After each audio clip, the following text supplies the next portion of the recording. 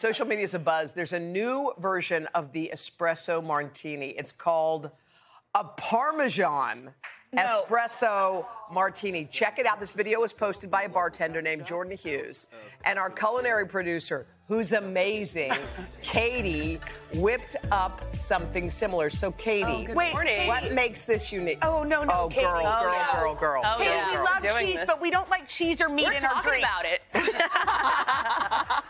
Look at all that. You're Yep. not even. Is, God, you are It's good. just- have to? You're really good at grading. You have to. Yeah, I grew I up. wanna I eat grew the up parm. grading parm. Okay. let's cheers. So what do it's you just do? a classic espresso Oh, martini. What's in it? So we have Bailey's espresso, a little simple syrup, and Maybe it's vodka. salty and sweet. Maybe like I don't know. Maybe it's like This is M&Ms. what find out.